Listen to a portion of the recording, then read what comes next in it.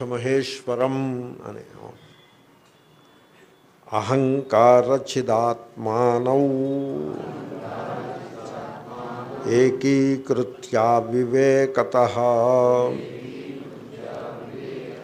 ఇదం మే స్యాదిదం మే స్యాత్ ఇతీచ్ఛా కామశబ్దితా కామము అనగా కోరిక. ఇక్కడ వ్యాఖ్యాత కూడా ఇచ్ఛ ఇచ్ఛా కామశబ్దితా కోరికలకే కామము అని పేరు. అయితే ఈ కోరికలు అసలు ఎలా పుట్టుతాయి? చాలామంది కోరికలు కోరడంలో తప్పేమిటి అని అడుగుతారు. ఆ రకంగా మొదలు పెడితే పాఠం చెప్పడం చాలా కష్టం. ఇటువంటి రెసిస్టెన్స్ నేను కొంత ఎదురు ఎదుర్కొంటూ ఉంటాను. సర్వత్రా ఇటువంటి రెసిస్టెన్స్ ఉంటుంది. ముఖ్యంగా ఈ రెసిస్టెన్స్ ఎవరి దగ్గర నుంచి వస్తుందంటే మిడిమిడి వేదాంతం చదువుకున్న వాళ్ళ దగ్గర నుంచి వస్తుంది. వాళ్ళు వేదాంతం అంటే పూర్తిగా చదివినట్టు కాదు. ఏదో రెండేళ్ళు మూడేళ్ళు ఏదో చదువుతారు. వాళ్ళకి ఒక అభిప్రాయం ఒకటి ఏర్పడుతుంది. అది అభిప్రాయం నేను చూశాను చాలామందిలో చూశాను. అభిప్రాయం ఏమిటంటే మేము ఏదైతే వేదాంతం పేరుతో తెలుసుకోవాల్సినది ఎంతైతే ఉందో అంతా మాకు మా గురువు గారు చెప్పేశారు మేము తెలిసేసుకున్నాము. అది ఒక అభిప్రాయం. అది ఎంత ఏమీ బాగులేదు కదన్నది అస్సలు బాగులేదు. రెండో అభిప్రాయం ఏంటంటే మా గురువుగారు తప్ప ఇంక ఈ సృష్టిలో వేదాంతం ఎవళ్ళు తెలుసున్న వాళ్ళు ఎవళ్ళు లేరు ఇంకెవళ్ళని మనం వినక్కర్లేదు ఎవళ్ళని పరిగణనలోకి తీసుకోనక్కర్లేదు అని ఇది రెండవ అభిప్రాయం. ఇది ఎలా ఉంది? ఏమీ బాగులేదు అంచేతనే ఈ ఇటువంటి వేదాంతుల దగ్గర మీరు ఓ రామకృష్ణ పరమహంస మాట ఎత్తడానికి అవకాశం లేదు వివేకానంద మాట ఎత్తడానికి అవకాశం లేదు రమణ మహర్షి అనడానికి లేదు ఇంకా నిసర్గదత్త మహారాజన్ అంటే వాళ్ళకి అసలు ఎవరో తెలియదు కూడా తెలియదు. మీరు ఎవరినైనా పాశ్చాత్య దేశంలో ఉండే రూపర్ట్ అని ఒక ఆయన ఉన్నాడు లండన్లో ఉండి వేదాంతం చెప్తాడు. వ్యాంకోవర్లో ఉండి వేదాంతం చెప్పి ఆయన ఎకహార్ట్ టోలే ఉన్నాడు. ఇలాగా ఉన్నారు వేదాంతం చెప్పి వాళ్ళు వాళ్ళని పేరు ఎత్తారంటే మీరు వాడు ఈ పేరు ఎత్తినవాడు భ్రష్టుడు ఎందుకు కొరగానివాడు అని వాళ్ళ నిశ్చయంలో ఉంటారు. ఇటువంటి వేదాంతుల దగ్గర మీరు వేలముఖం వేసి కూర్చోవడమే మేలేమో అనిపిస్తుంది. వాళ్ళది కామన కోరికలు మంచివి కాదు విడిచిపెట్టాలి అని అంటే వాళ్ళు దానికి రెసిస్టెన్స్ ఇస్తారు. నేను చూశాను అటువంటి రెసిస్టెన్స్. సో కాబట్టి కామన గ్రంథి ముడి అని శృతి వర్ణిస్తుంటే ఆ కామనని పట్టుకుని అదేదో మంచిదన్నట్టుగా మనం వ్యాఖ్యానం చేయడం ఎలా కుదురుతుంది? గ్రంథి ఒక ముడి. శరీరానికి అనారోగ్యం ఎలాంటిదో మనస్సుకి అనారోగ్యము కామన. అయితే శరీరానికి అనారోగ్యం ఎక్కడి నుంచి వచ్చిందంటే ఏదో ఇంబ్యాలెన్స్ వల్ల వస్తుంది. మనస్సుకి అనారోగ్యం ఎలా వచ్చింది అంటే అజ్ఞానం వల్ల వచ్చినది. ఆ అజ్ఞానము ఏ రూపంగా ఉంటుంది? అంటే శంకరులు ఎప్పుడు కూడా అజ్ఞానము నిద్రలో అజ్ఞానం ఉంటుంది ఆ అజ్ఞానం వేరు. దాన్ని మూల అజ్ఞానము అన్నారు. ఆ నిద్రలో అజ్ఞానం మీకు ఏమైనా కష్టాన్ని కలిగించిందా? ఎవళ్ళకి కష్టం కలగదు. నిద్రలో అజ్ఞానము బంధించదు. హానిని కలిగించదు ఏమీ చేయదు. అది మొన్నాడు పొద్దున్న తెలివి వచ్చినప్పుడు ఈ అజ్ఞానం నుంచి పుట్టేటువంటి భ్రాంతి. దానికి తూలాజ్ఞానము అని అంటారు. మూలం నుంచి తూలం పుడుతుంది. తులం కాదు తూలం. సంస్కృత పదం. అంటే విత్తు నుంచి అంకురం పుట్టినట్టుగా మూలాజ్ఞానం నుంచి తూలాజ్ఞానం పుడుతుంది. ఈ తూలాజ్ఞానం ఎప్పుడు కూడా భ్రాంతి రూపంగా ఉంటుంది. అజ్ఞానము కారణము భ్రాంతి కార్యము. ఎప్పుడు కారణాన్ని గురించి చెప్పడం కుదరదు. కార్యాన్ని గురించి చెప్పడమే కుదురుతుంది. అంచేతనే అజ్ఞానాన్ని అవ్యక్తము అని కూడా అంటారు. ఈ జ్ఞానము ఈ ఉదయం నిద్రలేస్తూనే కలిగేటువంటి భ్రమ అది కార్యం. ఈ భ్రమ భ్రమ అంటే ఎప్పుడు కూడా భ్రమ అనే మాట మీరు వినుంటారు. వాడు భ్రమపడ్డాడు అని అంటారు. ఉన్నది ఒకటైతే వీడు తెలుసుకున్నది మరి ఒకటి. దాని పేరే భ్రమ. మా చిన్నప్పుడు పాట ఒకటి వినేవాళ్ళం. ఉన్నది ఒక్కటి అంటూ ఏదో పాట వినేవాడు ఆ తర్వాత ఏమిటో నాకు గుర్తులేదు అనుకున్నది ఒక్కటి అది అది. అనుకున్నది వేరొక్కటి. ఆ తర్వాత? బోల్తా పడ్డావు రోయ్ బాగుందిగా చాలా బాగుంది. అదే భ్రాంతి అంటే. ఆ కవులు వాళ్ళు నాకు ఈ కవులంటే చాలా ప్రీతి. వాళ్ళు కనపడితే కౌగులించుకుందాం అన్నంత ప్రీతి. ఎందుకంటే వాళ్ళ భాష భావము ఎంత బాగుండేవండి ఎంత బాగుంటుంది. ఇప్పుడు చూడండి ఉన్నది ఒక్కటి. అతను కొద్దో గొప్ప వేదాలతో చదివిన వాడు అయి ఉంటాడు. కవులందరూ అలా పండితులు. ఏదో కొంత సాహిత్యము శాస్త్రము ఏదో కొద్దో గొప్ప చదువుకుని కొంత శుద్ధి అయినటువంటి అంతఃకరణంతో వాళ్ళు పాటలు రాసేవారు. సరే నారాయణ రెడ్డి గారు లాంటి వాళ్ళు మహావిద్వాంసులు మిగతా వాళ్ళు కూడా. ఇప్పుడు ఎవరు రాసేవారు? దాశరథి రంగాచార్య ఆత్రేయ నారాయణ రెడ్డి వీళ్ళు దిగ్ధంతుల వంటి పండితులు. వాళ్ళు రాసేవారు. చూడండి ఉన్నది ఒక్కటి అనుకున్నది వేరొక్కటి బోల్తా పడ్డావు రోయ్. బోల్తా పడ్డావు రోయ్. బుల్బుల్ పిట్ట. ఓహో. అంటే అంటే ఒక అమ్మాయిని ఉద్దేశించి చెప్పాడు వీడు పాట. కాబట్టి అదే భ్రమ అంటే. ఈ భ్రమ దీనికి శంకర్లు పెట్టుకున్న పేరు అవివేకము. తేడాని గుర్తించలేకపోవడము. తేడా అనేప్పటికీ రెండు ఉండాలి అక్కడ. రెండు ఉంటే ఒక ఉన్నది ఒక్కటి అనుకున్నది వేరొక్కటి. రెండు ఉండాలి. ఉన్నది త్రాడు అనుకున్నది పాము. అలాగ రెండు ఉండాలి. ఇప్పుడు దీన్ని ఈ పాయింట్ని బాగా వ్యాఖ్యానం చేసినటువంటి విద్వాంసులు ఉన్నారు. సరిగ్గా ఇది శంకరుల యొక్క అవివేకము వివేక వివేకం ఆత్మానాత్మ వివేకము అనే మొట్టమొదటి క్వాలిఫికేషన్ కింద పెట్టారు ఆయన. నాలుగు సాధన చతుష్టయంలో మొట్టమొదటిది ఆత్మానాత్మ వివేకమే. అసలు ఆరంభం అక్కడే ఆరంభమవుతుంది నేను గమనించింది మీకు మనవి చేస్తున్నాను. వేదాంతాన్ని బోధించేటువంటి వాళ్ళు కొందరు ఈ మధ్యకాలంలో ఈ వివేకమును ప్రక్కన పెట్టేసి బోధించడం మొదలుపెట్టారు. దాంతో వాళ్ళకి రెండు మూడేళ్ళు చదువుకుంటారు. అంతకంటే ఎక్కువ చదివే ఉత్సాహం వాళ్ళకి లేదు. వాళ్ళు వెంటనే గురువులైపోవాలనే తొందరపాటుతో ఉంటారు. వెంటనే గురువులు అయిపోతే శిష్యుల్ని పోగేసేసుకుని మనం వేదాంత గురువు ఆచార్య అని పేరు కూడా పెట్టేసుకుంటారు ముందు ఆచార్య అని. ఈ హడావిడిలో ఉండడంతో చదువు చాలా వానాకాలపు చదువు అన్నట్టుగా సరిగ్గా ఉండదు. అంచేత ఇంక మొట్టమొదటినే సర్వం కల్విదం బ్రహ్మ తర్వాత అహం బ్రహ్మాస్మి అలా పోతుంది అది ముందు అసలు ఆత్మానాత్మ వివేకము చేయకుండానే బ్రహ్మ దగ్గరికి వెళ్ళిపోతారు. బ్రహ్మ దగ్గరికి వెళ్ళిపోయి అంతా బ్రహ్మే అంటారు. అంటే ఉప్మా తయారు చేస్తున్నాడు బ్రహ్మచారి ఏం చేస్తున్నావా అంటే నేను బ్రహ్మని వండుతున్నాను అంటాడు. అలాగా అంతా బ్రహ్మే కదా. ఆత్మానాత్మ వివేకము లేకపోవడం చేత అంతా బ్రహ్మ అవడం చేత దేహము కూడా బ్రహ్మే. దేహం సత్యము బ్రహ్మ. అలాగా. మనస్సు సత్యము అది బ్రహ్మ. కామనలు కూడా ఆ బ్రహ్మయే. ఈశ్వరుడే. కామనలు కూడా ఈశ్వరుడే. అని ఎప్పుడైతే మీరు కామనలు కూడా ఈశ్వరుడని మీరు దానికి అలాగ పెట్టేశారో ఇప్పుడు కామనల గురించి ఎవడైనా వ్యతిరేకంగా మాట్లాడితే వాడు ఈశ్వరుని అటాక్ చేసిన వాడు అవుతాడు. చూసారా ఈ విడ్డూరం? నేను చూసిన దాంట్లో ఇటువంటి దోషం ఒకటి ఈ వేదాంతుల్లో కొంత కనపడుతుంది. తర్వాత నేను ఇంకొక మంచి వేదాంతిని ఒకదాన్ని చూశాను ఒక ఆయన్ని చూశాను. ఆయన పేరు మూజీ మూజీ అంటారు ఆయన్ని. మీరు వినుంటారు. ఆయన జమైకా వాడు. జమైకా అనే దేశంలో పుట్టి పెరిగినవాడు. జమైకా నేను ఒకసారి వెళ్ళాను జమైకా. ఆ అమెరికాకి దగ్గరలో ఉంటుంది క్యారీబియన్ ఐలాండ్స్లో. ఈ ప్రపంచంలో పరుగు పందెంలో నెగ్గిన వాళ్ళందరూ జమైకా నుంచే వస్తారు. చిన్న ఐలాండ్ కంట్రీ. అక్కడ ఇండియన్స్ చాలామంది ఉన్నారు జమైకాలో. ఇండియన్ పాస్పోర్ట్ హోల్డర్కి వీసా అక్కర్లేదు. అంత దగ్గర సంబంధం ఉంది జమైకాతోటి ఆ జమైకాలో పుట్టాడు ఆయన. ఈ మూజీ గారు.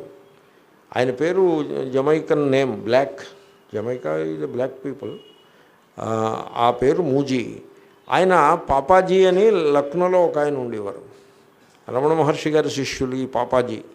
ఈ పాపాజీ దగ్గర శిష్యరికం చేసి ఆయన అద్వైతం నేర్చుకుని ఇప్పుడు ఆయన పోర్చుగల్లో అద్వైతాన్ని బోధిస్తాడు ఆయన. ఆయన పెట్టుకున్న పేరు ఏమిటంటే అద్వైత జెన్ మాస్టర్ అని ఆయన ఆయన యొక్క వర్ణన. అలా ఉంటుంది. వైట్ ఫైర్ అనే పుస్తకం. వైట్ ఫైర్ బై మూజీ కింద ఏముంటుంది? అద్వైత జెన్ మాస్టర్ అని ఉంటుంది. ఆయన బోధలని నేను పరిశీలించే అవకాశం నాకు లభించింది. ఎందుకంటే ఆయన హృషికేశ్ వస్తూ ఉంటారు. హృషికేశ్ వచ్చి మా దయానంద ఆశ్రమం గేటు ముందున్న స్వతంత్రానంద ఆశ్రమంలో అక్కడ పెద్ద హాల్ ఉంది. అక్కడ క్లాసులు చెప్తూ ఉంటారు ఆయన. స్వతంత్రానంద గారిని నేను బాగా ఎరుగుతాను చాలా చాలా దగ్గర అనుబంధం. ఈ గేట్ దాటా గేట్లోకి వెళ్ళడమే. స్వామీజీ రండి అని చెప్పి తీసుకెళ్తారు. కాబట్టి అప్పుడప్పుడు మూజీ గారి పాఠాలన్నీ నేను విన్నాను జాగ్రత్తగా పరిశీలించాను. సో నేను ఎప్పుడో ఒకసారి పోర్చుగల్ వెళ్ళడం తటస్థపడ్డప్పుడు ఆయన ఆశ్రమానికి కూడా వెళ్ళాను. ఆయన చాలా పెద్ద మర్యాద అది చేశారు. అప్పుడు కూడా ఆయన ప్రసంగాలు విన్నాను ఓ రెండు రోజులు ఉండేవి. ఆయన ఒకే ప- ఆయనతో అందాం అనుకున్నా. ఏవో ఇతర విషయాలు చెప్పాను ఈ మాట చెప్పేందుకు నాకు అవకాశం చిక్కలేదు. ఆయన ఒకటే చెప్తున్నారు ఆయన ఒకే పాయింట్ చెప్తున్నారు. ఏమిటో తెలుసునండి అది? ఆత్మానాత్మ వివేకము. ఇంతవరకు ఆయన పుస్తకాలు చూశాను ఆయన పాఠాలు విన్నాను. ఎక్కడా ఆత్మానాత్మ వివేకం తప్ప మరేది చెప్పినట్లు నాకు అనిపించలేదు. ఈ రకంగా రెండు ధోరణులు కనపడ్డాయి మీకు నేను వర్ణించిన ధోరణులు. ఒకటి కేవలము సర్వం కల్విదం బ్రహ్మ సర్వ అహం బ్రహ్మాస్మి అని డైరెక్ట్గా ఫైనల్ చెప్పే గ్రూప్ ఒకటి ఉన్నది. ఇక్కడ ఆత్మానాత్మ వివేకమును మాత్రమే బోధించేటువంటి ఒక మాస్టర్ ఒక ఆయన ఉన్నాడు. ఈ రెండు కూడా నేను చూశాను. రెండింట్లో కొంత లోటు ఉన్నమాట వాస్తవమే. ఎందుకంటే ఈ సర్వం కల్విదం బ్రహ్మ అహం బ్రహ్మాస్మి గ్రూప్ ఉన్నారే వీళ్ళు రెండు సంవత్సరాల వేదాంతులు. మహా అయితే మూడు సంవత్సరాలు. సంస్కృతం సరిగ్గా రాదు. వీళ్ళు ఉన్నారే వీళ్ళకి అసలు ఆత్మానాత్మ వివేకం అనే మాట కూడా వీళ్ళు విన్నవాళ్ళు కాదు. ఆ ధైర్య ఆ దిశలో వీళ్ళు ఏ ప్రయత్నమును చేయకపోవడం అది అధికారము సంపద అధికార సంపద లేకుండా తత్వం జోలికి వచ్చిన విద్యార్థులుగా మిగిలిపోయారు వాళ్ళు. నేను చూస్తూ ఉంటాను. ఈయన ఆత్మానాత్మ వివేకం పట్టుకుని ఇంకా అసలు ముందుకు అడుగు వేయదు ఆయన. అక్కడే ఆగిపోయారు. ఈ రెండింటిని పోల్చి చూసినట్లయితే ఎంతో కొంత లోటుపాట్లు రెండింటిలో ఉన్నప్పటికీ శాస్త్ర దృష్ట్యా ఈ రెండింటిలో ఏది శ్రేష్టమో అంటే మూజీగారే శ్రేష్టం. ఎందుకంటే సాధనని ఆయన బాగా రాపిడి చేసి పెడుతున్నాడు. సాధనని రాపిడి చేసేసి వాడిని వదిలిపెట్టేస్తే వాడు ఎప్పుడైనా ఆ సిద్ధ వస్తువుని కనుక్కుంటాడు. వాడంతటా వాడే కనుక్కునే అవకాశం ఉన్నది. వేరే వీళ్ళు ఈ మిడిమిడి వేదాంతులు ఉన్నారే వీళ్ళు సాధనకి తిలోదకాలు ఇచ్చి సిద్ధ వస్తువు దగ్గరికి వెళ్ళి చిలక పలుకులు పలుకుతో మా అంతటి విద్వాంసుల్లో లేరనేటువంటి ఒక పెద్ద అహంకారంతో వీళ్ళు ఉండిపోయినారు. నేను లోకంలో ఉండే వేదాంత ధోరణులపై ఒక వ్యాఖ్యానం చేశాను. కాబట్టి ఇక్కడ విద్యారణ్య స్వామి ఏమంటున్నారంటే ఆ వివేకాన్ని నువ్వు అర్థం చేసుకో. ఆత్మ అనాత్మల యొక్క వివేకము అత్యావశ్యకము. ఆ వివేకము లేకుండుట చేతనే కామనలు పుడుతున్నాయి అని చెప్తున్నారు మీకు అర్థమైందా? నేను దాన్ని బిల్డప్ ఎలా తీసుకొచ్చాను? I built a case for ఆత్మానాత్మ వివేక. ఏ రెండింటి మధ్యన వివేకము లేకపోవుట అంటే ఒకటే ఆత్మ ఒకటే అనాత్మ. రెండు మీ లోపలే ఉంటాయి. రెండు మీ లోపలే ఉంటాయి. ఇప్పుడు చూడండి మీకు ఆత్మానాత్మ వివేకం నేను చూపిస్తాను. ఇప్పుడు మీరు ఈ చేతిని ఇలా అనండి ఒకసారి ఎడమ చేతిని కుడి చేతితో ఇలా అన్నారనుకోండి. ఏమండి? కుర్చీని ఇలా అన్నారనుకోండి. కుర్చీ కాకపోతే చాప ఇలా చేతి కుడి చేతితో చాపని అన్నారనుకోండి. రెండింటికి తేడా ఉందా లేదా? ఉంది. ఏమిటి తేడా? రెండింటికి తేడా ఏమిటి చెప్పమంటారా? కుడి చేత్తో ఎడమ చేతిని స్పృశించినప్పుడు ఎడమ చేతికి కూడా స్పర్శ గలదు. కానీ కుడి చేత్తో కుర్చీని పట్టుకున్నప్పుడు కుర్చీకి స్పర్శ లేదు. కుడి చేతికి స్పర్శ సమానమే. రెండు దృష్టాంతాలలోనూ కుర్చీకి కుడి చేతికి స్పర్శ సమానం. ఇంకా తేడా ఎక్కడొచ్చిందంటే ఎడమ చేతికి స్పర్శ ఉన్నది కుర్చీ కాడకి కుర్చీ దీనికి ఆ కట్టెకు స్పర్శ లేదు.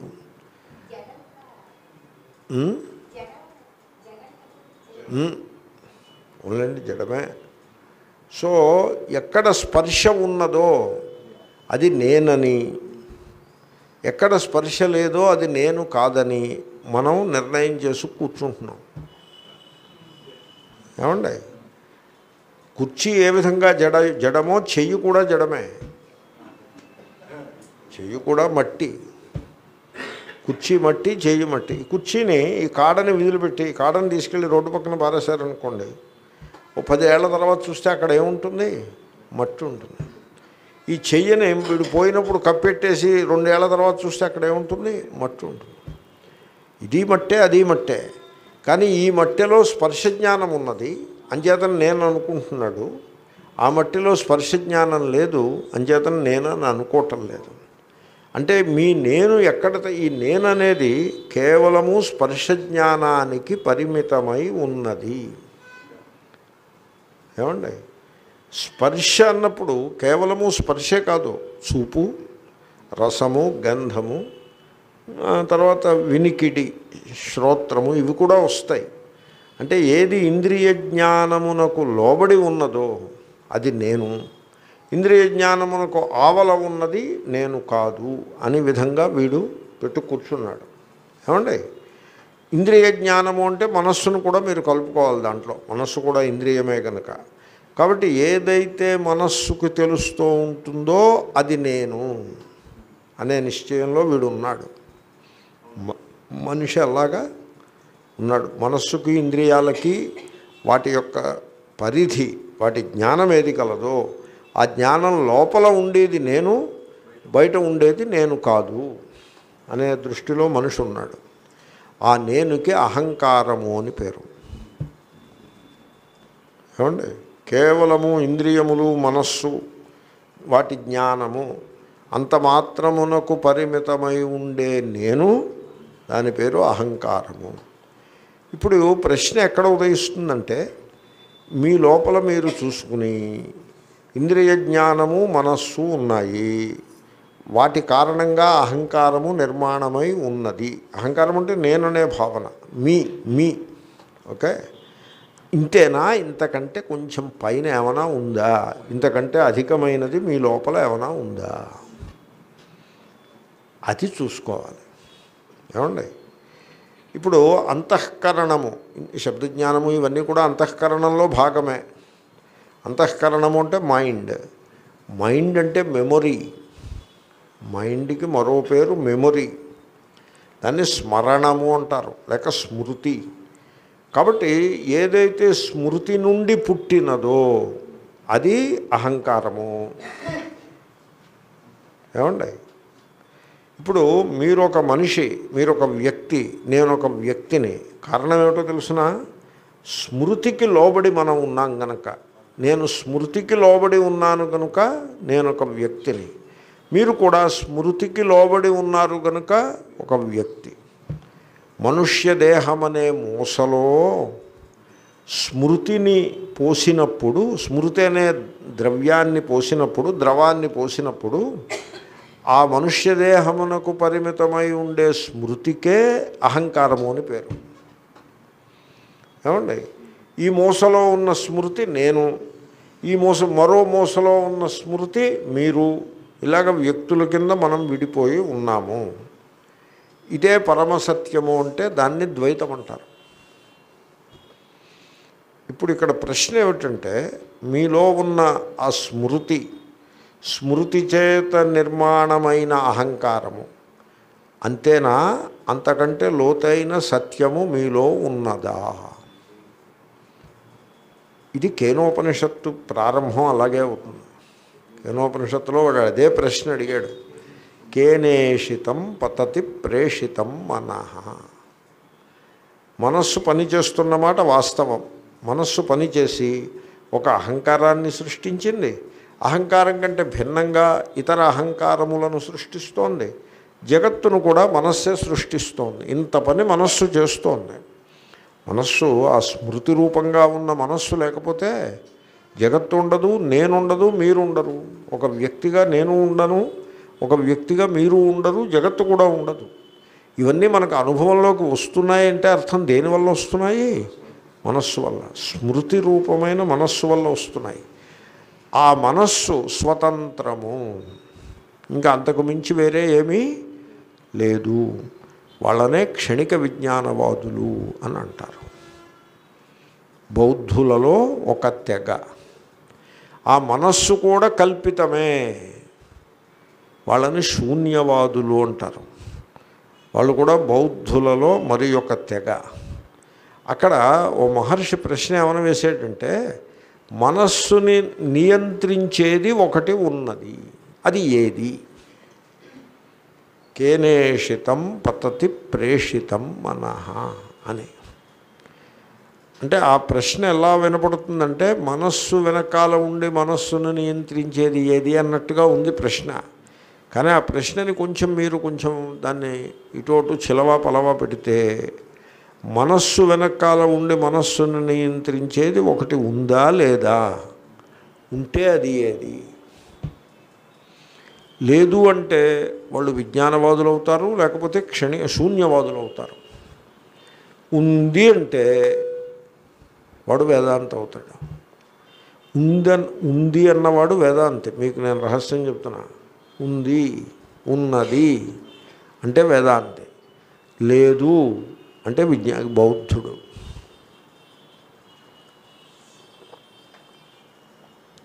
బౌద్ధులు అలాగా లేదు అని వాళ్ళు నిశ్చయం చేసి కూర్చున్నారు. చాలా తప్పది. అలా నిశ్చయం చేసుకోకూడదు. బుద్ధుడు అలా చెప్పలేదు. నేను సందర్భం వచ్చింది కాబట్టి చెప్తున్నా బుద్ధుడు అలా చెప్పలేదు. బుద్ధుడు ఎలా చెప్పాడంటే ఒక ఆయన నిత్యము కర్మానుష్ఠానం చేసి ఈశ్వరుణ్ణి ఆరాధిస్తూ ఉండేవాడు. బుద్ధుడు యొక్క సత్ సత్సంగానికి వెళ్ళి బుద్ధుణ్ణి దేవుడు ఉన్నాడా అని అడిగాడు. అడిగితే బుద్ధుడు నో అని చెప్పాడు. పొద్దున్న సత్సంగంలో. సాయంకాలం మళ్ళీ సత్సంగము విద్యార్థులందరూ ఒక చోట సమావేశమైన చోట చార్వాకుడు అంటే దేవుడు లేడనే నిశ్చయంలో ఉన్న చార్వాకుడు వచ్చి దేవుడు ఉన్నాడా అని అడిగాడు. ఎస్ అని చెప్పాడు ఈయన. ఈ విద్యార్థులందరూ స్టన్ అయిపోయారు. పొద్దున్న చెప్పిన దానికి సాయంకాలం చెప్పిన దానికి ఈ తేడా ఏమిటి అని. అప్పుడు వాళ్ళు తెల్లవారుసామున ఆయన వాకింగ్కి వెళ్తుంటే బుద్ధుడు ఆయన నిద్ర లేచి వాకింగ్కి వెళ్ళేవాడు. ఆయన వెనకాల వెళ్ళి చేతులు పట్టుకుని ఆయన వెనకాల వెళ్ళి ఇలాగ చెప్పారు మీరు మీ అభిప్రాయం ఏమిటి? అని అడిగారు. అడిగితే ఆయన చెప్పారు దేవుడు ఉన్నాడని చెప్పిన వాడికి దేవుడు తెలియదు. దేవుడు లేడని చెప్పిన వాడికి దేవుడు తెలియదు. ఇద్దరూ ఒకే పడవలో ఉన్నారు అని ముందు అదొక మాట చెప్పాడు. అంటే ఇద్దరూ ఒకే తరగతికి చెందినవారు. ఒకే పడవలో ఉన్నారంటే వాడు పడవలో కూర్చుని వెళ్తున్నారు అనుకోకండి. ఒకే తరగతికి both are in the same boat ఇంగ్లీష్లో అలా అంటారు. తెలుగులో అలా అనరు నేను అన్నాను they are in the same boat మనం ఏమనుకుంటాం? వీళ్ళు పరస్పర విరుద్ధమైన వ్యక్తులు వేరువేరు బోట్స్లో వెళ్తున్నారు అనుకుంటాం బుద్ధుడు అన్నాడు ఇద్దరూ ఒకే బోట్లో వెళ్తున్నారు. ఎందుకని? వాళ్ళకి తెలియని తత్వం గురించి ఒక విశ్వాసం పెట్టుకుని ఉన్నారు కనుక they believe something about which they don't know దేని గురించి వాళ్ళకి తెలియదో అది ఉన్నది అని ఒకడు అది లేదు అని మరొకడు. ఇది రెండు బిలీఫే రెండు బిలీఫే. దీంట్లో చార్వాకుడు బిలీఫ్ లేనివాడని మీరు అనుకోవద్దు. వాడు బిలీఫే. కమ్యూనిస్టు లేడంటాడు. వాడిది బిలీఫే. వీడు ఈ పూ- పూజ చేసేవాడు ఉన్నాడంటాడు. వీడిది బిలీఫే. బిలీఫ్ దేని గురించి? దేని గురించి అయితే వాళ్ళకి ఏదీ తెలియదో దాని గురించి బిలీఫ్. బుద్ధుడు ఏమన్నాడంటే వీళ్ళిద్దరూ కూడా బిలీఫ్ అని పక్కన పెట్టి సత్యాన్ని అన్వేషించడం కోసం నేను అలా చెప్పాను అని అన్నాడు. నువ్వు ఉన్నాడని బిలీవ్ చేయొద్దు. వాడు లేడని బిలీవ్ చేయొద్దు. మీరిద్దరూ కూడా జిజ్ఞాస. తద్విజిజ్ఞాసస్వ. దాన్ని మీరు అన్వేషించి తెలుసుకోండి విచారము చేసి తెలుసుకోండి అని చెప్పడం కోసం విచారం చేయండి అని బోధించడం కోసం ఆయన అలా చెప్పాడు. కాబట్టి మనస్సు వెనుక ఒక తత్వం ఏదైనా ఉందా? దేనికి లోబడి మనస్సు పనిచేస్తోందో అటువంటి తత్వము ఉన్నదా? ఉన్నది. అది ఉంటే ఇప్పుడు ఇక్కడ మేము దాన్ని అనుభవంలోకి తెచ్చుకోగలుగుతామా? ఎస్ అదేమిటో తెలుసునా? మీరేం చేయాలంటే స్మృతి మెమొరీ దాన్ని ప్రక్కన పెట్టండి. దాన్ని జార విడవండి ఎలాగని అడగద్దు. ఎలాగని అడిగితే చెప్పేందుకు అదేం ప్రాసెస్ ఏమీ కాదు. మైండ్ని పక్కన పెట్టండి. అలర్ట్గా ఉండండి. మై స్మృతిని పక్కన పెట్టండి. మీరు అలర్ట్గా ఉండండి. Alert and awake. జాగ్రత్తగా సావధానంగా ఉండండి. స్మృతిని మాత్రం దరిదాపులకి రానివ్వకండి. అప్పుడు మీకు సంగతి అర్థమవుతుంది. ఈ నిరంతరము ఆలోచనల రూపంగా ప్రవహిస్తూ ఉండే ఈ స్మృతి రూపమైన మనస్సు ఏది గలదో దాని వెనుక ఒక వెలుగు ఉన్నది అని మీకు అర్థమవుతుంది నిజానికి ఆ వెలుగులోనే ఈ మనస్సు పనిచేస్తోంది కూడా. ఆ వెలుగుకే చిత్ అని పేరు. దాన్ని చిత్ అంటారు. దాన్నే ఆత్మ అంటారు. స్మృతి రూపమైన మనస్సు అనాత్మ. దానికి వెలుగును ప్రకాశిస్తూ దాని వెనుక ఉండి వెలిగిపోతున్న ఆ జ్యోతి చైతన్య జ్యోతి అది ఆత్మ. ఈ రెండింటికి వివేకము తెలియలేదు వీడికి. అర్థమైందండి? తెలియలేక ఈ మనస్సే నేనని భ్రమపడి అంటే స్మృతి నేను అని భ్రమపడ్డాడు. స్మృతే నేను స్మృతి నేనంటే అర్థం ఏంటో తెలుసునా అండి? నేను బ్రాహ్మణుడను. అది స్మృతియేగా? నేను తెలంగాణ వాడిని ఇండియన్ని హిందువుని క్రిస్టియన్ని మగవాడిని ఆడ ఆడదానిని నేను భర్తను భార్యను పుత్రుడను తండ్రిని అసలు మీ వ్యక్తిత్వం అంతా కూడా స్మృతియే. స్మృతిని చెరిపేస్తే ఆ వ్యక్తి ఉండడు. ఆ పెర్సన్ ఉండడు. సరిగ్గా ఈ పాయింట్ మీద రచయితలు కథలు రాశారు డై- సినిమా డైరెక్టర్లు సినిమాలు తీశారు. సరిగ్గా ఇదే పాయింట్ మీద. వాడుకో వాడు భార్య పిల్లలతో ఇద్దరు పిల్లలు భార్యతో కలిసి కారులో వెళ్తూ ఉంటాడు. పిక్నిక్కి. యాక్సిడెంట్ అవుతుంది. అయిన తర్వాత హాస్పిటల్ చూపిస్తాడు. కారు గోట్లో పడడం చూపిస్తాడు హాస్పిటల్ చూపిస్తాడు. పిల్లలకి ఏమవదు భార్యకి ఏమవదు వీడికి మాత్రం తలకు ఒక రిబ్బన్ కట్టు ఉంటుంది ఆ రిబ్బన్ మీద ఎర్రటి చుక్క ఒకటి ఉంటుంది. అది రక్తం అన్నమాట. వాడు మరిచిపోయినాడు అంతాను. అక్కడి నుంచి సినిమా డెవలప్ అవుతుంది. గమనించారా? ఇంకా వాడు మర్చిపోతే ఈ అమ్మాయికి వాడు భర్త కాడు ఈ పిల్లలకి వాడు తండ్రి కాడు ఆ ఉద్యోగానికి వాడు ఉద్యోగి కాడు ఆ తల్లిదండ్రులకి కొడుకు కాడు ఆ మతం వాడిది కాదు ఆ ప్రాంతం ఏది వాడు కాడు. అంటే మీరు నేను ఫలానా వ్యక్తినని మీరు ఏదైతే అనుకుంటున్నారో అదంతా కూడా స్మృతి చేత నిర్మాణము చేయబడి ఉన్నది. ఆ స్మృతి చేత తయారు చేయబడిన వ్యక్తికి అహంకారము అని పేరు. స్మృతికి వెలుగొనిస్తూ స్మృతి వెనుక ఉండి ప్రకాశిస్తూ ఉండే చైతన్య జ్యోతి చిత్. అది ఆత్మ. ఇది ఆత్మ ఇది అనాత్మ. ఈ తేడా వీడికి తెలియదు తేడా తెలియకపోతే ఏమవుతాడో తెలుసిన? తాను రాజకుమారుడనని తెలియని వాడు బిచ్చగాడుగా ఉంటాడు. అది రూల్ అది. తాను రాజకుమారుడను అని ఎప్పుడైతే వాడికి తెలియలేదో వాడు ఎలా ఉంటాడు? బిచ్చగాడుగా ఉంటాడు.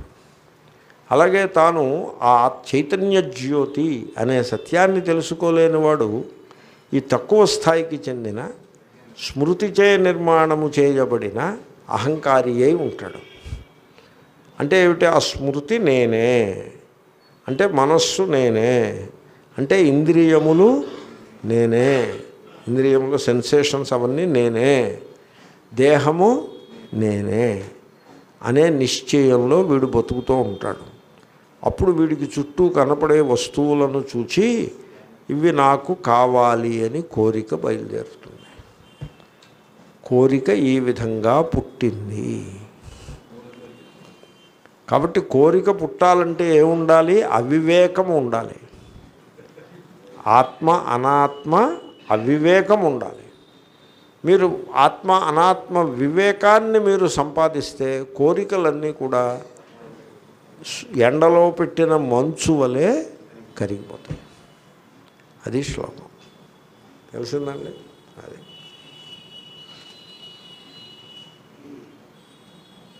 తత్వం తత్వం తెలుసుకోవాలి. అంతేగాని ఏదో కథ తెలుసుకుంటే ఏమవుతుంది? కథ తెలుసుకుంటే ఏమిటి ఉపయోగం? కథలు ఏవేవో ఉంటాయి చాలా రకాల కథలు ఉంటాయి. నాకెవరో ఉత్తరం రాశారు. దేవుడు భూలోకానికి వచ్చి మళ్ళీ అందరి దగ్గర సెలవు తీసుకుని వైకుంఠానికి వెళ్ళిపోయినట్టుగా కథ ఉంది కదా. మరి దేవుడు సర్వవ్యాపకుడని మనం మనం పాఠాల్లో చదువుకుంటాము ఇది ఎలాగా అని రాశారు. నేను అన్నాను అమ్మ ఆ రకం ఎవరో అమ్మగారు రాశారు. అమ్మ ఆ రకంగా మీరు ప్రశ్నలు అడగడం ప్రారంభిస్తే మీరు పన్నెండో స్కంధంలో ప్రశ్న అడిగారు. మొదటి స్కంధం మాట ఏమిటి? రెండో ఒకటో స్కంధం మొదలుకొని పన్నెండో స్కంధం దాకా స్కంధానికి పది ప్రశ్నలు చొప్పున నూట ఇరవై ప్రశ్నలు మీరు అడగాలి. మీరు ఒక్కడే ప్రశ్న అడుగుతున్నారు. కాబట్టి ఇవన్నీ కథలు. ఆ కథలలో ఏదైనా సందేశం ఉందేమో మీరు చూసుకోవాలి తప్ప ఆ కథలను కథలుగానే పట్టుకుని లిటరల్గా తీసుకుని దానికి ఏదో వ్యాఖ్యానం చేసి ప్రయత్నం మీరు చేయకూడదు అని నేను వారికి సమాధానం రాసినాను ఆ సమాధానం నచ్చిందో లేదో నాకు తెలియలేదు.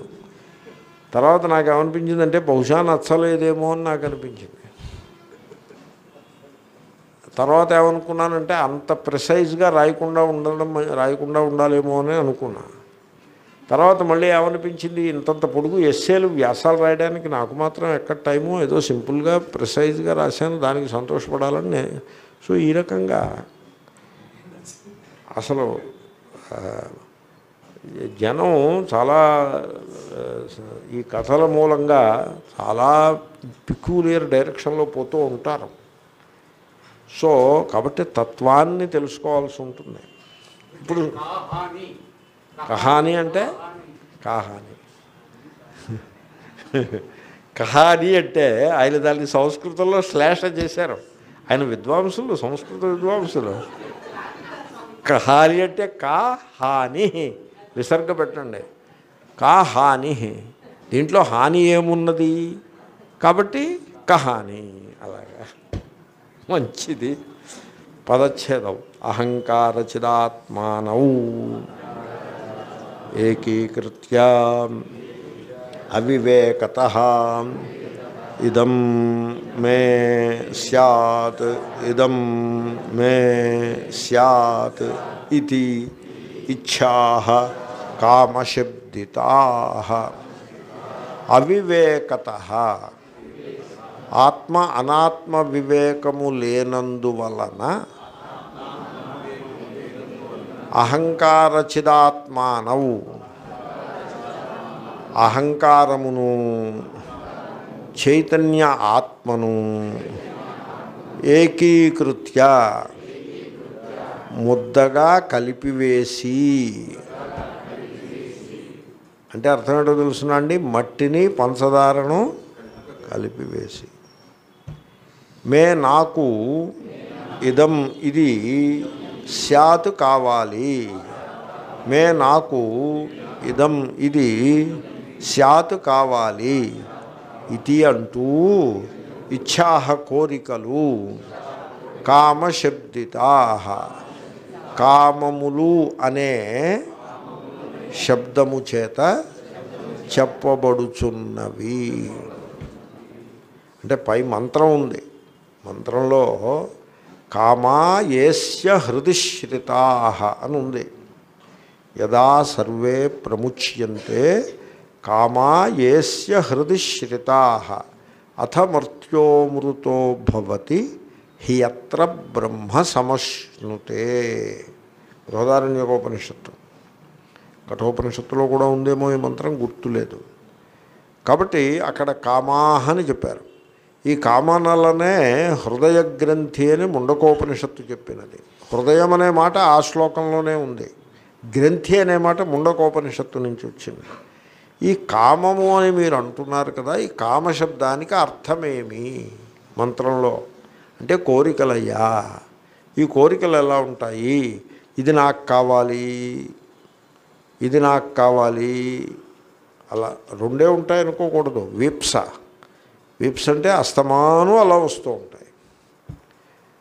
కారులో కూర్చుని వెళ్తుంటే ఎదురుకుండా ఆటో వెళ్తోంది. ఆటో వెనకాల ఏవో బొమ్మలు పెట్టి ఇవి మీరు కొనుక్కోవచ్చు అని ఓ కెమెరా బొమ్మ వేశాడు. వీడు కారులో కూర్చుని ఆ కెమెరా బొమ్మను చూసి ఆహా ఇది నాకు కావాలి అనుకుంటాడు. కారులో వెళ్తుంటే గోడ మీద వాడు ఏదో అడ్వర్టైజ్మెంట్ వేస్తాడు. ఏదో బొమ్మ. ఇది నాకు కావాలి అని అనుకుంటాడు. అలాగా నిరంతరముగా కోరికలు ఉంటూనే ఉంటాయి. ఎందుకని? మనస్సుకి ఇంద్రియములకు దేహానికి పరిమితమైపోయి ఉన్నాడు. పూర్ణతత్వమైన ఆత్మ అవివేకం చేత అపూర్ణమైన వీటికి కట్టుబడిపోయి ఉంది. జైల్లో పెట్టినట్టు అయిపోయింది. దాంతో నేనంటే ఇదే ఈ మనస్సే నేను ఈ స్మృతియే నేను ఈ దేహమే నేను అని వీడు ఎప్పుడైతే అనుకుంటాడో నేను వెంటనే ఏమొస్తుంది? నాకు వస్తుంది. అహం మమ. అంచేతనే పూజలు అవి చేసుకునేప్పుడు కూడా మమ అని పూజలు చేస్తూ ఉంటాడు. సంకల్పం చెప్తాడు. ఇప్పుడు ఈ సంకల్పం గురించి మమ అనే మాట గురించి నేను ఏదైనా అన్నాను అనుకోండి నా మీద దుమ్మెత్తిపోయడానికి ఒక అవకాశం ఇచ్చినట్టు అవుతుంది. నేను ఇలాంటివి ఎదుర్కొంటూ ఉంటాను. మరి సంకల్పం చేయకుండా పూజలా చేస్తారండి? అని అడిగాడు నన్ను ఒక ఆయన. అంటే నేనన్నాను నువ్వు సంకల్పం గురించి పూజ గురించి మాట్లాడతావేమిటి? ఇక్కడ భగవద్గీతలో నమమ వద్దంటున్నాడు నమమా అంటున్నాడు ఆ దాని గురించి మాట్లాడవయా? మరి దాని మాట ఏమిటి? లోకంలో అన్ని రకాలు ఉంటారు. లోకంలో మమ మమ అనుకుంటూ కోరికలు పెట్టుకున్న వాళ్ళు ఉంటారు. నమ్మమా అని పాఠం చెప్పే వాళ్ళు ఉంటారు. నీ స్థాయి ఏదో నువ్వు చూసుకో. వాళ్ళు ఉన్నారని నన్ను ఆ స్థాయికి వెళ్ళి పాఠం చెప్పంటావు? ఎలా చెప్తావు ఇది? ఈ పుస్తకం పక్కన పెట్టి మనం ఏం చేయాల్సి ఉంటుంది? కార్తీక పురాణం పుస్తకం తీసుకురావాలి. తీసుకొస్తే ప్రతి అధ్యాయం వెనకాల ఫలానా వాడికి ఈ కోరిక తీరింది మీకు కూడా తీరుతుంది అని ఉంటుంది. కాబట్టి అది చదువుకోవాలి. ఇక ఇది చదువుకుంటూ దాన్ని పట్టుకొచ్చి చెప్పమంటే ఎలా కుదురుతుంది? ఈ కోరికలు అనేవి ఎలా ఉంటాయంటే పోనీ ఒక కోరిక తీర్చుకున్నారు. ఇదం మే స్యాత్. ఆ కోరిక తీర్చుకున్నారు. దాన్ని కోరిక తీర్చుకోవడానికి అంతు అనేది ఉండదు. కోరికలు తీర్చుకొనుట అనే దానికి అంతు ఏమీ ఉండదు.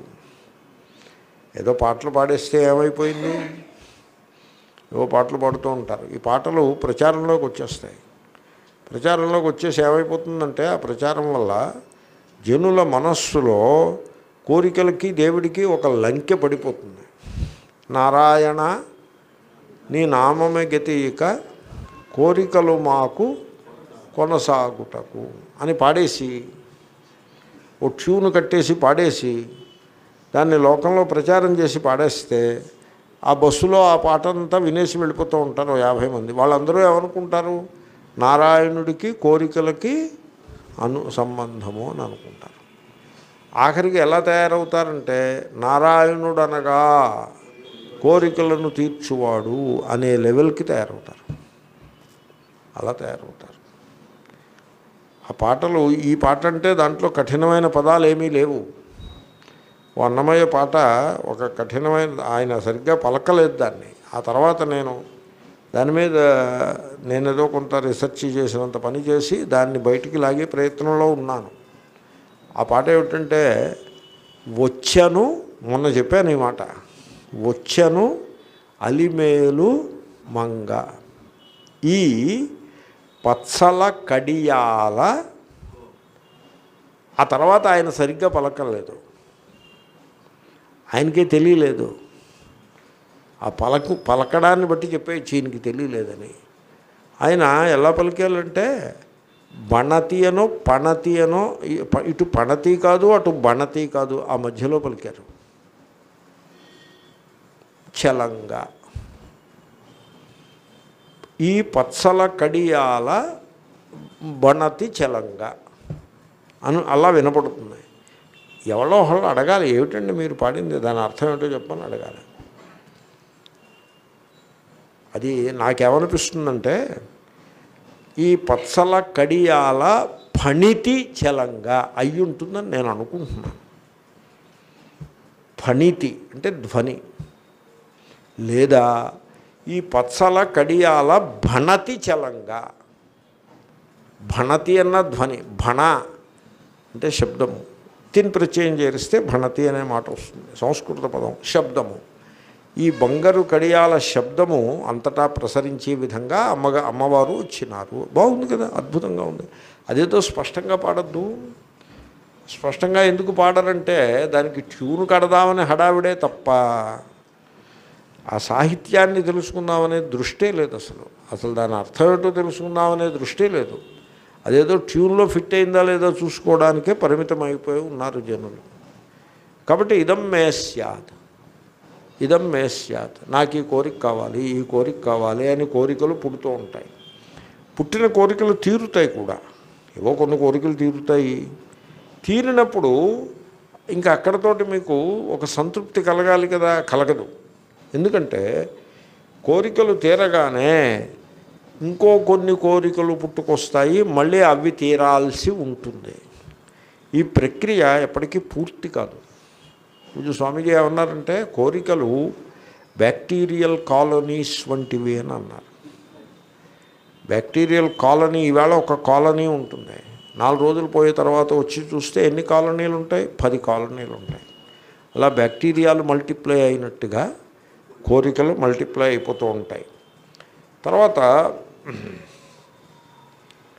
మీ హృదయంలో కోరికలు ఉన్నాయి అంటే మీ హృదయంలో ఒక అసంతృప్తి అపూర్ణత్వము గలదు అని అర్థం. ఏమండి? ఇప్పుడు సర్వం కల్విదం బ్రహ్మ అన్నప్పుడు ఈ సర్వము బ్రహ్మయే అంటే అర్థం ఏంటో తెలుసునండి? ఏ పూర్ణతత్వము గలదో అది ఈ సర్వమునందు వ్యాపించి ఉన్నది అని అర్థం. సర్వం కల్విదం బ్రహ్మ అంటే. ఇప్పుడు సూర్యుని యందు ఏ అస్థి గలదో ఈ గడ్డిపోచయందు కూడా అదే అస్థి కలదు. అది సర్వం కల్విదం బ్రహ్మ అంటే అంటే గడ్డిపోచను చూసినా ఎండుటాకును చూసినా నీటి పడియను చూసినా మేఘపు తునకను చూసినా ఒక పక్షిని చూసినా పశువును చూసినా మనిషిని చూసినా మీకు ఆ బ్రహ్మ అనుభవానికి వస్తుందా? రావాలలాగా. అంటే ఆ నామరూపముల యొక్క పరిధిని దాటి దాని ఎందుండే పూర్ణమైన పరమాత్మను మీరు చూడగలగాలి. అలా చూడగలగాలంటే మీ హృదయము నిండుగా ఉండాలి. మీ హృదయంలో మీరు ఇన్ని కోరికలు పెట్టేసుకుని ఆ హృదయము డొల్ల కింద ఉంటే అపూర్ణముగా ఉంటే అది కోరికలనే ఛిద్రములతో ఛిద్రం అంటే చిల్లు. కోరికలనే చిల్లులతో నిండి మీ హృదయము ఉన్నంతకాలము మీ చుట్టూ వ్యాపించి ఉన్న ఆ పూర్ణ పరమాత్మతత్వము మీకు అనుభవమునకు రాదు. ఎప్పుడైతే పరమాత్మతత్వము అనుభవానికి రాదో అప్పుడు మీకు ఒక విగ్రహము టెంపులు అవసరమవుతాయి. మీరు గమనిస్తున్నారా ఈ మాట? పరమాత్మతత్వము అనుభవానికి వచ్చిన వాడికి టెంపుల్ అవసరం లేదు. మీరు తెలుసుకోవాల్సి ఉంటుంది. ఎవడికి ఆ అనుభవానికి రాలేదో వాడి కోసమే టెంపుల్. పరమాత్మతత్వం అనుభవానికి వస్తే ఆ టెంపుల్ ఎందుకు? టెంపుల్ వాడి కోసం కాదు. మహాత్ముల కోసం కట్టరు టెంపుల్స్. టెంపుల్ హాస్పిటల్స్ ఎవరి కోసం కడతారు? అలాగా. ఆరోగ్యవంతుల కోసం హాస్పిటల్ కట్టరు. మహాత్ముల కోసం అక్కర్లేదు. రమణ మహర్షి కోసం టెంపుల్ కట్టాలా? మామూలుగా ఊళ్ళో ఉండే జనం కోసం అవసరం. కాబట్టి కోరికలు ఉంటే తప్పేమిటని మీరు అనకూడదు. కోరికలు అంటే చిల్లులు. చిల్లులు హృదయంలో చిల్లులు ఉంటే మీకు ఆ పూర్ణ పరమాత్మతత్వము ఎప్పటికీ అనుభవానికి రాదు. చూడండి మీరు ఎప్పుడైనా పక్షుల కిలకలారావములను ప్రేమతో విన్నారా అసలు మీరు? అంటే వినలేదండి. ఎందుకని? అలా వినదగ్గ ఆ నిండుదనం మీలో లేదు. ఆ శాంతి మీలో లేదు. నిజమే ఎందుకు లేదు? ఎందుకు లేదంటే కోరికలతో నింపుకుని పెట్టు కూర్చున్నారు మీరు హృదయాన్ని. అన్నీ కోరికలే పుట్టెడు కోరికలు. తీరిన కోరికలు తీరుతూనే ఉంటే కొత్త కోరికలు పుట్టుకొస్తూనే ఉంటాయి. ఇప్పుడు మనవడు పుట్టాడు కోరిక కోరిక పెట్టుకున్నారు. సరే మనవడు కావాలని కోరిక పుట్టాడు. ఇప్పుడు వీడికి సెయింట్ యాన్స్లో సీటు కావాలనే కోరిక మీకెందుకు? ఆ కన్నవాళ్ళు చూసుకుంటారు కదా. ఏమో కన్నవాళ్ళు సరిగ్గా చూసుకుంటారో చూసుకోరో. కాబట్టి నేనే చూడాలి. కాబట్టి ఆ కోరిక కూడా నాకే. ఈ రకంగా ఎప్పటికీ ఈ కోరికలు తీరవు. అంచేతనే సంసారాలు అలాగే ఉండిపోతారు. వాళ్ళు ఊరికే నారాయణ అంటూ ఉంటారు తప్ప దానికి ఆ నారాయణ అనే మాటకు అర్థమేం లేదు. దానికి అర్థమే ఉండదు. నారాయణ అంటే అర్థం ఏంటి? నరాహ అయనం యస్య. నరాయవ నారాహ. అయనం యస్య. ప్రతి మనిషి నడిచే దేవుడు అని అర్థం దానికి. అది వీడికేం తెలుస్తుంది? ఎదటి వాడిని తోసేస్తూ ఉంటాడు వెనకాల వాడిని గిల్లేస్తూ ఉంటాడు. వీడికి నారాయణ శబ్దానికి వీడికి అర్థమేం తెలుస్తుంది? ఊరికే దాన్ని సంగీత ప్రధానంగా మైకులో మాట్లాడ పాట పాడడమే చేతనవుతుంది అంతే. అంటే ఎవరో పాడారని నేను అంటలేదు ఊరికే మనిషి అలా ఉంటాడు. కాబట్టి ఈ కోరికలన్నీ కూడా ఆ పూర్ణత్వము ఎరుగని వాళ్ళకి మాత్రమే కలుగుతాయి. మీరు కోరికలను తీర్చుకుంటూ కూర్చుంటే మీ హృదయంలో చిల్లులు ఇంకా పెరిగిపోతాయి తప్ప తగ్గేదేమీ లేదు. మీరేం చేస్తారంటే ఈ కోరికలను ప్రక్కన పెట్టి పక్షుల కిలకిలారావములను సావధానంగా వినడం నేర్చుకోండి. వర్షపు చినుకులు టపటప పడుతున్నప్పుడు వాటిని ఆ శబ్దాన్ని వినడం ఆ దృశ్యాన్ని చూడడం ఆ స్పర్శను అనుభవానికి తెచ్చుకోవడం అలాంటి పనులు ఏమైనా కొన్ని చేయండి. తర్వాత మనుష్యుల కేసు చూసినప్పుడు వాళ్ళ నవ్వులను మీ స్వంతమే అని మీరు అనుకోండి. వాళ్ళలో ఉండే దుఃఖములను కూడా మీరు చూసి ఒక సంవేదనశీలముతో చూడడం అలవాటు చేసుకోండి. ఈ విధంగా ప్రతి ఆకునందు కూడా పరమాత్మ యొక్క మహిమ ఆఖరికి ఎండుటాకునందు కూడా ఆ పరమాత్మ యొక్క ఉనికి గలదు అని మీరు తెలుసుకోండి. ఎండిపోయిన ఆకంటే దాని బతుకు అయిపోయింది కదా దాని బతుకు అంతమైపోయింది కదా. కానీ దేని బతుకు ఎప్పటికీ అంతము కాదో అటువంటి బ్రహ్మ బతుకైపోయిన ఎండుటాకునందు కూడా గలదు.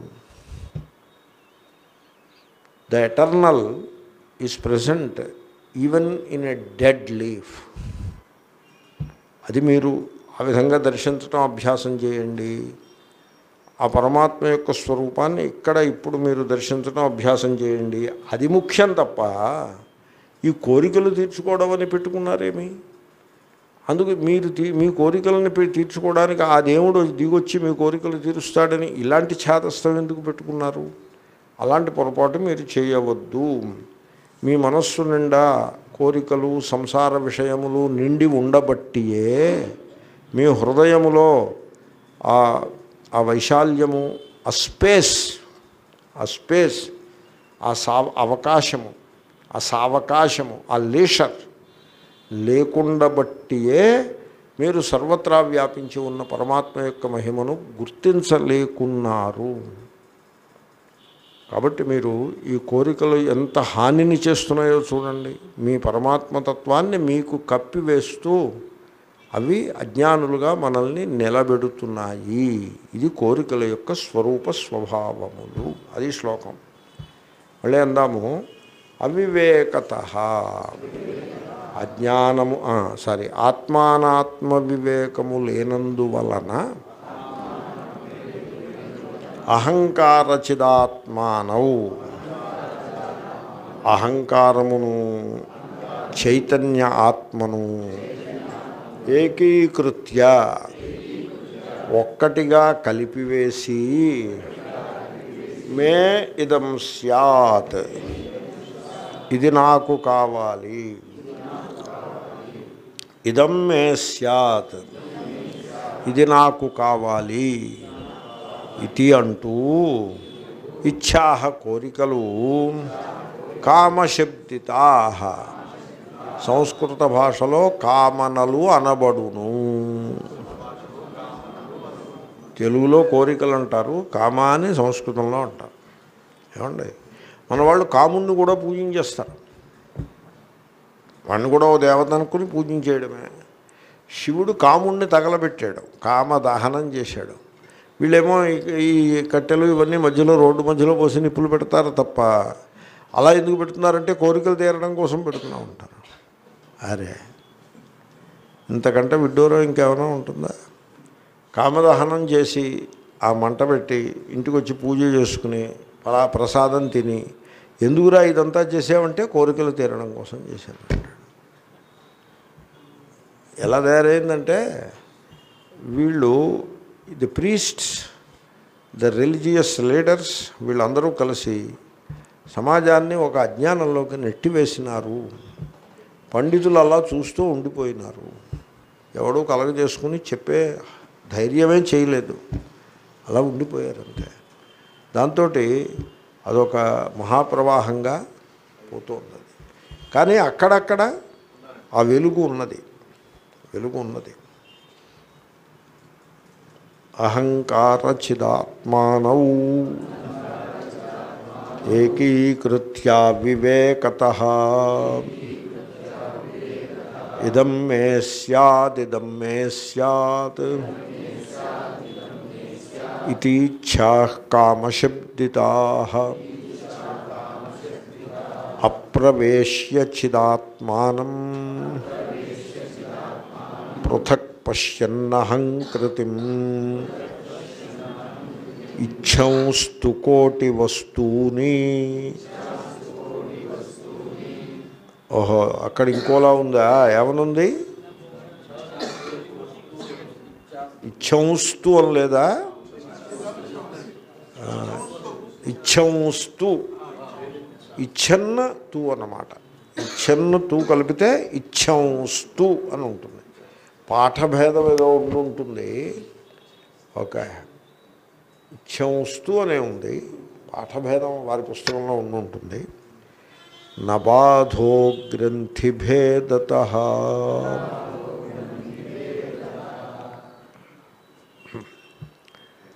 ఇప్పుడు మీరు ఈ అవివేకం నుంచి బయటపడాలంటే ఏం చేయాలి? అంటే ఇప్పుడు అవివేకము కోరికల బంధంలో మన్ని కట్టి పడవేస్తోంది. ఈ కోరిక ఆ కోరిక ఆ కోరిక ఈ కోరిక. కోరికల బంధంలో అవివేకము కట్టి పారవేయుచున్నది. తల్లిదండ్రులు పిల్లలని అదే దారిలో పెంచుతున్నారు ఈ ఆధునిక కాలంలో. ఈ పిల్లలకి ఎందుకంటే ఎకనామిక్ డెవలప్మెంట్ వచ్చింది కదా ఆల్ ఓవర్ ప్రతి వాళ్ళు కూడా ఎకనామిక్గా పైకి వస్తున్నారు. దాంతో పిల్లల్ని పైకి తీసుకురావాలనే ఆకాంక్ష ఉంటుంది. పిల్లల ఏడల ప్రేమ ఉంటుంది అదంతా మంచిదే. కానీ పిల్లలకి చెడు అలవాట్లను పెద్దలే నేర్పడము. కాస్ట్లీ హ్యాబిట్స్ వాళ్ళకేమో చాక్లెట్ అలవాటు చేయటం. తర్వాత వాళ్ళకి సెల్ ఫోన్ ఇవ్వటం. చిన్న వయస్సులోనే టచ్ స్క్రీన్ సెల్ ఫోన్ ఇవ్వడం వాళ్ళకి నేర్పి పెట్టడం డే బర్త్డే పార్టీలు వాళ్ళకి చేస్తూ ఉండడం ఆ విధంగా అది నేర్పి పెట్టడం తర్వాత వాళ్ళకి బంగారము ఆభరణాలు పెట్టడం. మగపిల్లలు కానీ ఆడపిల్లలు కానీ ఏదో కొద్దిగా అయితే పర్వాలేదు. కొంచెం వేలం వెర్రిగా బంగారం ఆభరణాలు పెట్టడం వాళ్ళకి చాలా రిచ్ ఫుడ్ అలవాటు చేయడం కేక్స్ మొదలైనవి. చాక్లెట్లు కేక్స్ ఐస్ క్రీములు పిజ్జాలు కోకా కోలా ఇటువంటి జంక్ ఫుడ్ అంటారు దీన్ని. దీన్ని వాళ్ళకి అభ్యాసం నేర్పడం. తర్వాత వాళ్ళకి కోరికలను నేర్పడం. ఆ కోరికల్ని దేవుడు తీరుస్తాడని నేర్పడం. ఈ విధంగా చాలా అధ్వాన్నంగా తయారవుతుంది తయారవుతున్నట్టు అనిపిస్తుంది. అలా ఉండకూడదు. పోలండి పిల్లల్ని పెంచడం మాట అలాంటి పెట్టండి. ముందు పెద్దలు సుధారవ్వాలి కదా పెద్దలు బాగుపడితే పిల్లలు. ఇప్పుడు మీరు ఒక సంగతిని గమనించాల్సి ఉంటుంది. మీరు సంసార బంధంలో ఉన్నారు అని ఎక్నాలజీ చేయాల్సి ఉంటుంది. ఏమండి? సంసార బంధం అనగానేమి? చూడండి చాలా బేసిక్ థింగ్స్ ఇవన్నీ కూడా. దేహము మీ చెప్పు చేతుల్లో ఉండాలా? మీరు దేహమునకు చెప్పు చేతుల్లో ఉండాలా? నెంబర్ వన్ మనస్సు మీ చెప్పు చేతుల్లో ఉండాలా? మిమ్మల్ని మనస్సు ఆడించాలా? ఉండాలి. కాబట్టి దేహము మనస్సు వీటిని తన చెప్పు చేతులలో ఉంచుకుంటే మీకు సంసార బంధం నుంచి విముక్తి కలుగుతుంది. మీ స్వరూపం మీకు అనుభవానికి వస్తుంది. ఆ చిదాత్మ రూపంగా మీరు నిలిచి ఉంటారు. ఈ కామనలు ఇవన్నీ కూడా దూరం అవుతాయి ఒకవేళ ఉన్నా కూడా అవి మిమ్మల్ని బాధించవు. దూరం అవుతాయి మీ స్వరూపం మీకు అనుభవానికి వస్తుంది. కాబట్టి ఆ స్మృతి ఏదైతే గలదో ఆ స్మృతిలో అంటే మెమొరీ దానిలో అహంకారము మనస్సులో ఉండే సంకల్ప వికల్పములు ఇంద్రియములు అంటే కర్మేంద్రియములు జ్ఞానేంద్రియములు దేహము కామనలు ఇవన్నీ కూడా ఆ స్మృతిలో భాగంగా ఉంటాయి. ఆ స్మృతి అనేది దేహమనే మూసలో పోసిన ఒక మనస్తత్వం అది. మనస్సే దానితోటి వీడు మమేకమై అంటే తాదాత్మ్యమును కలిగిన వాడై ఈ అహంకార రూపంగా వీడు బతుకుతూ ఉంటాడు. అదే బంధం. దానివల్ల ఏమవుతుందంటే బంధానికి ఆపోజిట్ ఏమిటి? మోక్షము. మోక్షం అనగానేమి ఫ్రీడమ్. ఇంగ్లీష్లో మోక్షమును ఫ్రీడమ్ అంటారు. ఫ్రీడమ్ అనగానే మీరు దాన్ని సరిగ్గా అర్థం చేసుకోవాలి. ఇప్పుడు వెంటనే ఇక్కడ నాకు ఇక్కడ వేడిగా ఉంది కాబట్టి లోపల పోయి ఎయిర్ కండిషన్ రూమ్లో కూర్చుంటాను. దాన్ని ఫ్రీడమ్ అంటారా? అదే ఫ్రీడమ్ మనం అంటున్నది. అది కాదు ఫ్రీడమ్. లేకపోతే నాకేమో ఇది వద్దు నాకు పిజ్జా కావాలి నేను పిజ్జా కొనుక్కు తింటాను. నాకు ఫ్రీడమ్ ఉంది. We're not talking up that kind of freedom. దాన్ని ఫ్రీడమ్ అనరు.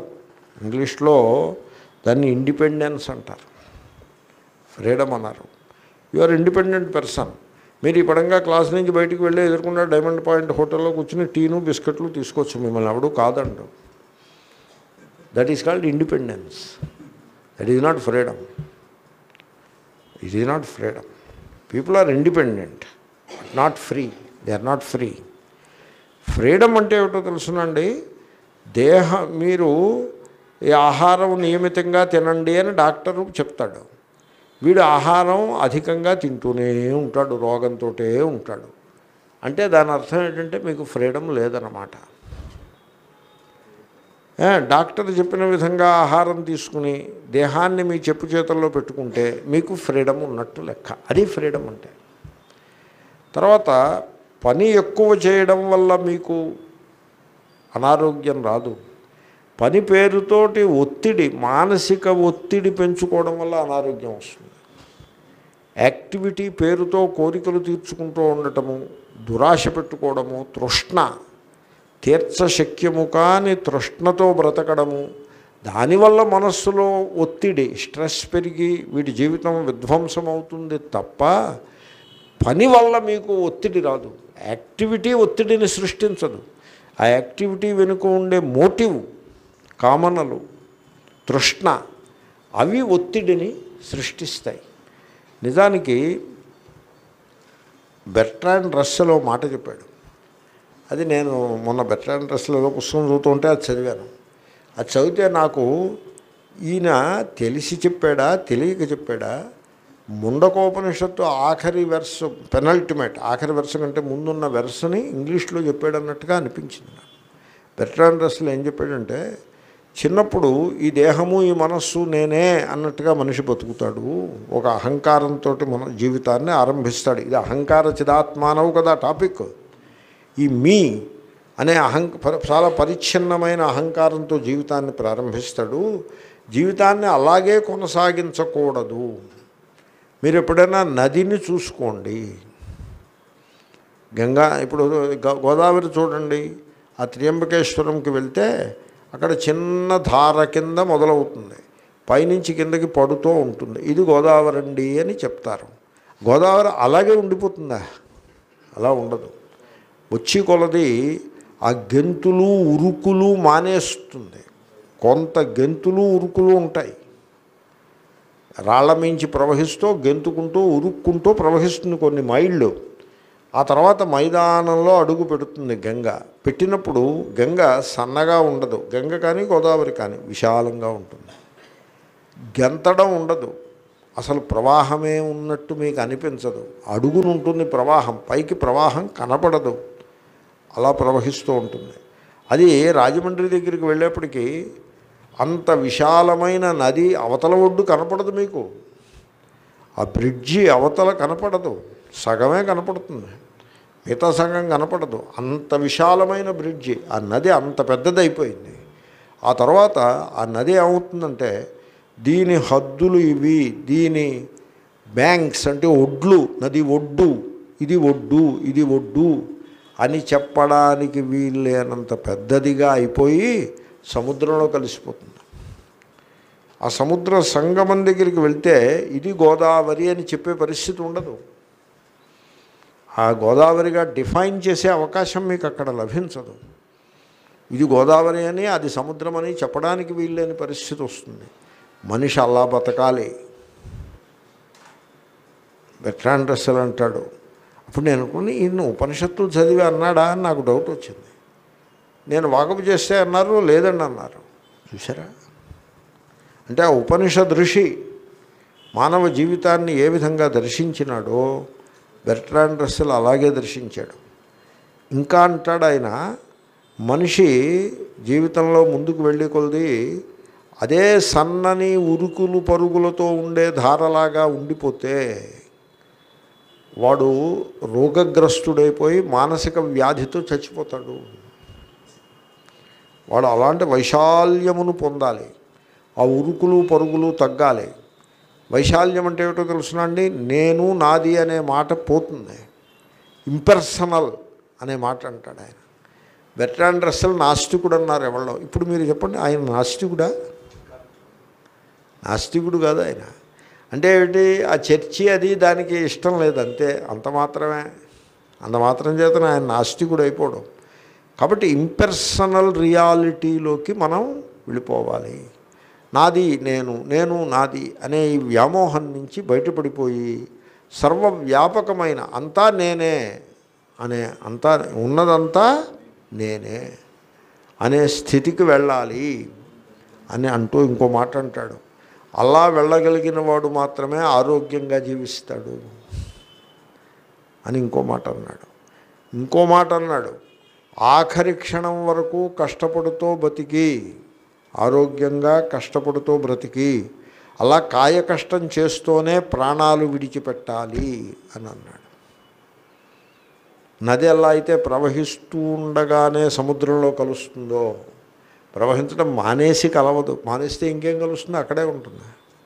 ప్రవహిస్తూ ప్రవహిస్తూ ఉండగానే సముద్రంలో కలుస్తుంది. అలాగే you have to give up the body while working at your work station.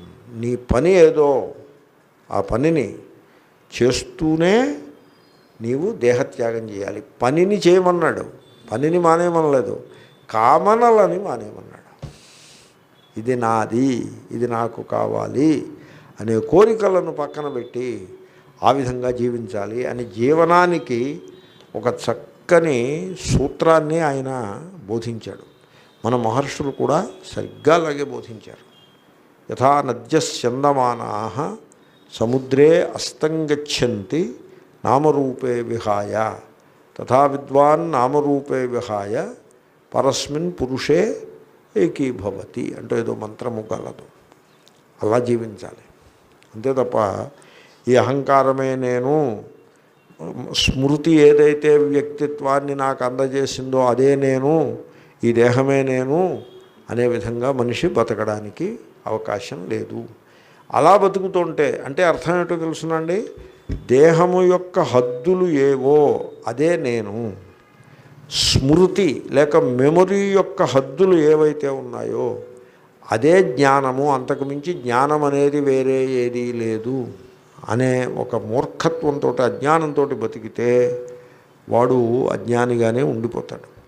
కానీ ఆ దేహమును అధీనంలో పెట్టుకుని కోరికలన్నింటినీ ప్రక్కన పెట్టి ఆ స్మృతికి వెనుక ఉండే చైతన్య ఆత్మను అనుభవానికి తెచ్చుకుని అది నేను అని తెలుసుకుని మనస్సు యొక్క బంధము నుండి అంటే మనస్సులు మనస్సు సృష్టిస్తూ ఉండే ఈ కోరికల బంధం నుండి విడుదలను పొంది ఫ్రీడమ్. దేహమే నేను అనే అజ్ఞానం నుంచి విడుదలను పొంది ఫ్రీడమ్. ఆ ఫ్రీడమ్ ఎవడైతే పొందుతాడో వాడి జీవితమే కృతార్థమవుతుంది. దీంట్లో ఇంకో రహస్యం ఉంది. ఈ రహస్యాన్ని జనులు గ్రహించరు.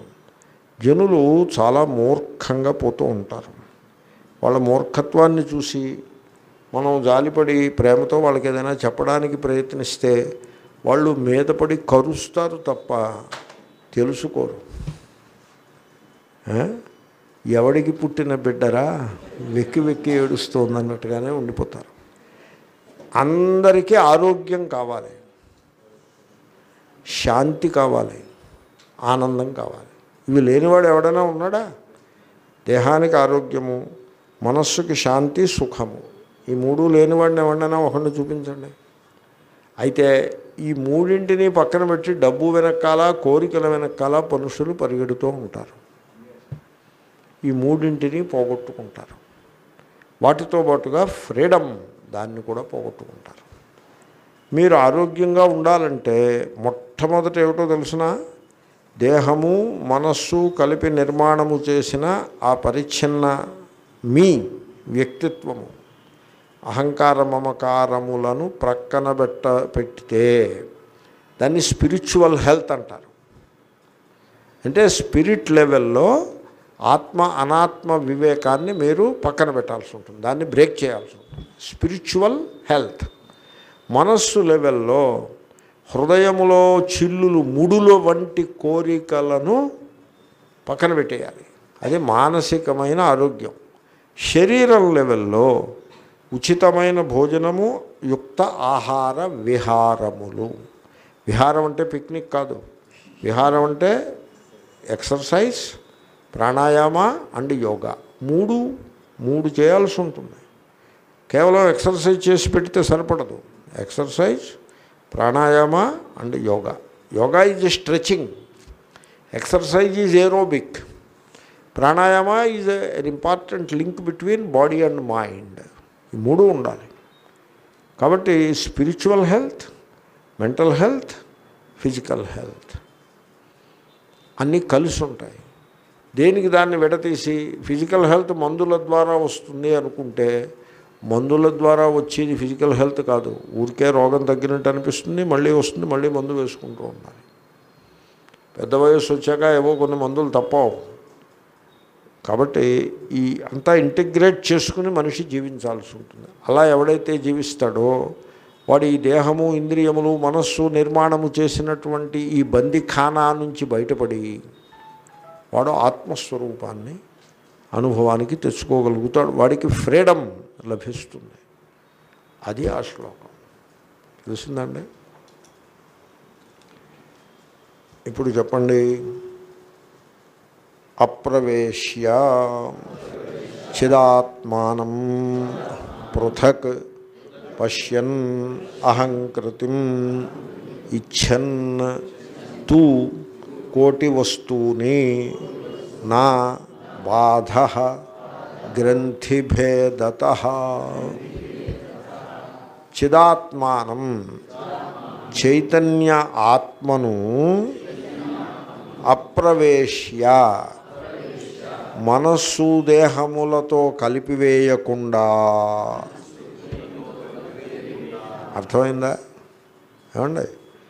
అహంకృతిం అహంకారమును పృథక్ సెపరేట్గా అంటే వేరుగా పశ్యన్ దర్శిస్తున్నవాడై. కోటి వస్తువుని కోటి వస్తువులను ఇచ్చన్నతు కోరువాడే అయినప్పటికీ తూకే అపి అని అర్థం. గ్రంథిభేదత. కామన అనే ముడి విడిపోవుట వలన నా బాధ దుఃఖము ఉండదు. ఓకే? కాబట్టి మీరు ఏం చేయాల్సి ఉంటుందంటే చైతన్య ఆత్మని ఆ మెమొరీ స్మృతి దాన్ని మనస్సు అని అంటారు. దాన్ని దాంతో తర్వాత దేహముతోటి ఇవన్నీ కలిపి నిర్మాణము చేసినటువంటి అహంకారంతో కలిపివేయవద్దు. పంచదారని మట్టితోటి కలిపేయద్దు. ఏమండి? ఇప్పుడు ప- అక్కడ దుమ్ము ఉందనుకోండి పంచదార తీసుకెళ్ళి దుమ్ములో పోసారనుకోండి ఇంకేముందండి? దుమ్ముకి గొప్పతనం ఏం రాదు. పంచదార చెడిపోతుంది. అలాగా ఆత్మను అనాత్మతో కలగాపులగం చేసినప్పుడు అనాత్మకి గొప్ప ఏమీ రాదు. ఆత్మ నాశనం అవుతుంది. మరి కలపకుండా ఉండడం ఎలాగా? ఎలాగా అంటే మీరు సాక్షిగా ఉండాల్సి ఉంటుంది. సాక్షి భావంతో ఉండాలి. మీరు ఎప్పుడైనా మీరు ఎప్పుడైనా అభ్యాసం చేయండి. ఎలాగంటే మీరు ఏం చేస్తారంటే ఎప్పుడైనా ఏకాంతంగా ఉన్నప్పుడు ప్రశాంతంగా కూర్చుని ఎప్పుడైనా అలాగే ఏకాంతంలో ఉండడం అలవాటు ఉందా? ఉన్నట్లయితే మీరు ప్రశాంతంగా కదలిక ఏదీ లేకుండా కూర్చోగలుగుతారా? కూర్చోవాలి. నిటారుగా కూర్చోవాలి ఏకాంతంలో కూర్చోవాలి కదలిక లేకుండా సావధానంగా కూర్చోవాలి. మీరు మీరు ప్రయత్నం చేయండి. కూర్చోవడంలో ఇంకొక హెచ్చరిక ఏమిటంటే అస్సలు కదలిక లేకుండా కూర్చోవాలి. అసలు ఏమాత్రం కదలిక మీరు అభ్యాసం చేద్దరు కానీ ఏమాత్రం కదలిక లేకుండా కూర్చోవాలి. ఇంటి దగ్గర అభ్యాసం చేయండి. కూర్చుని తర్వాత నడుము నిటారుగా పెట్టి కూర్చోవాల్సి ఉంటుంది. కూర్చుని మీరేం చేయాలంటే ఈ మనస్సు ఏం చేస్తోంది అని చూడాలి. అంతే. మనస్సు ఏం పిల్లాడు ఏం చేస్తున్నాడు అన్నట్టు. మనస్సు చెడ్డది అని అనద్దు. మనస్సు చాలా దు- దుఃఖాన్ని కలిగిస్తోంది. అది చెప్పిన మాట వింటలేదు. అది కొ- కొరగాని కొయ్య అయి కూర్చుంది. అని దానికి మీరు పేర్లు పెట్టద్దు. ఏ పేర్లు పెట్టద్దు? ఈ పేర్లు పెట్టిన వాడిని ఏమంటారో తెలిసిన? యోగి అంటారు. యోగులు అలాంటి పేర్లు పెట్టారు. మనస్సు కొరగాని కొయ్య ఎందుకు పనికిరానిది? మనల్ని సంసారంలో బంధించేసేది? అలా వర్ణిస్తే ఏమవుతుంది?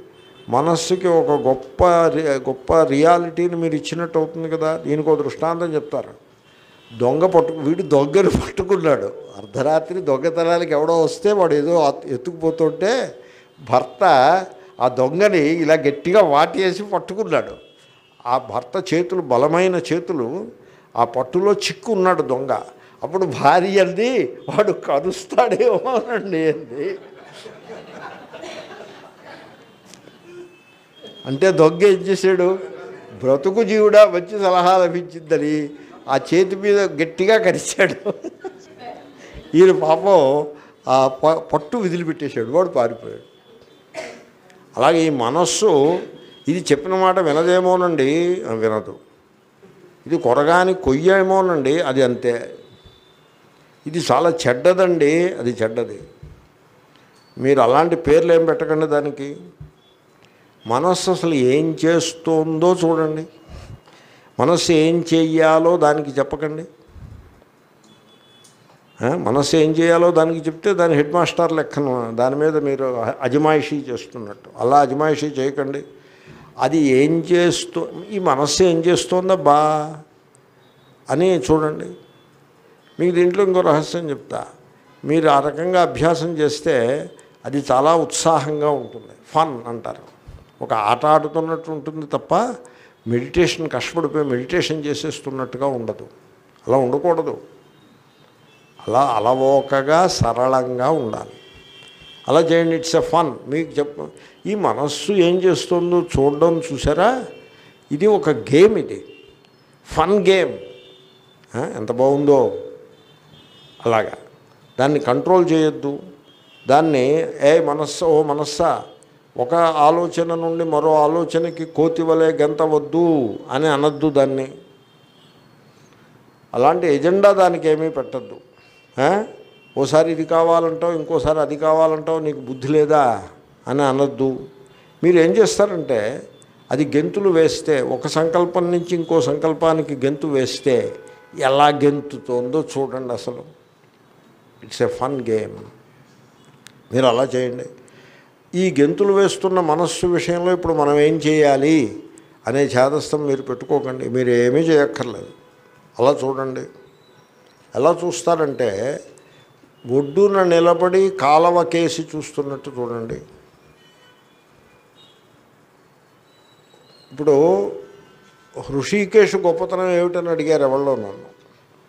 అంటే నేను చెప్పాను ఒడ్డున నిలబడి గంగకేసి చూస్తూ అరగంటైనా గంటైనా రెండు గంటలైనా మూడు గంటలైనా మీరు కాలాన్ని గడిపినా ఋషికేశ్లో వీడు సోమరి నిర్వ్యాపారుడు ఎందుకు కొరగాని వాడు అని ఎవరో అనుకోరు. ఆ పని మీరు హైదరాబాదులో చేస్తే వీడు ఎందుకు పనికిరాని వాడు అని భార్యే తిప్పికొట్టినా సందేహ డౌట్ పడక్కర్లేదు. ఎందుకంటే వాతావరణం అలా ఉంటుంది కదా. ఏమిటి అలాగా కొయ్యలా మూల కూర్చుని అలా పడి ఏమిటి ఒకసారి వీధిలోకి వెళ్ళిరండి అని భార్య అన్నా మీరు ఆశ్చర్యపడక్కర్లేదు ఇక్కడ వాతావరణం అలా ఉంటుంది. కొన్ని భార్య కాకపోతే భర్త. హృషికేశ్లో మీరు గంగ ఒడ్డున నేను చూశాను ఎంతోమందిని. అలా కూర్చుని మీరు అరగంట సేపు కూర్చుని వచ్చారనుకోండి ఏమిటండి? ఎంతసేపు చూస్తారు? చూసిన గంగే అలాగా అరగంట సేపు అని ఎవరో అనరు మిమ్మల్ని. పైగా ఆయన సాధన చేసుకుంటున్నాడని రెస్పెక్ట్ చేస్తారు. ఆ ప్లేస్ యొక్క విశిష్టత అందుకోసమే అక్కడికి వస్తారు జనాలు. అలాగంటి పని మీరు ఇంట్లో కూర్చుని చేయగలుగుతారా? ఆ గంగని ఎలా అయితే వాచ్ చేస్తున్నారో ఈ గంగ ఇలా ఉండాలి ఇలా ఉందేమిటి అని అనుకోరు కదా. ఎలా ఉంటే అలా ఉంటుంది అలా చూస్తారు. అదేవిధంగా మీ మనస్సును కూడా ఏ రకమైన ఎజెండా లేకుండగా గట్టి మీద కూర్చుని గంగ కేసు చూసినట్టుగా గంగలో తడవకూడదు మళ్ళా. మళ్ళీ కాలు పెట్టద్దు చేయి పెట్టద్దు ఏం పెట్టద్దు. సరిగ్గా అదేవిధంగా మీ మనస్సును మీరు పరిశీలించండి.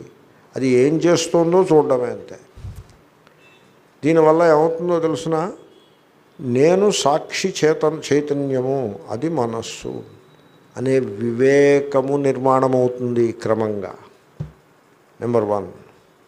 నెంబర్ టూ మనస్సు మీకు తెలియకుండానే దానికి కూడా తెలియకుండా అది ఒక సెటిల్మెంట్కి వస్తుంది. సెటిల్ అవుతుంది. కొంచెం టైం పట్టచ్చు. అభ్యాసము కూసు విద్య. విన్నారా ఎప్పుడైనా? ఈ కూసు విద్య అంటే ఏమిటి? నాకు తెలియలేదు. కూసు అంటే ఏమిటి? విద్య అంటే తెలుస్తోంది. ఏమిటంటారు?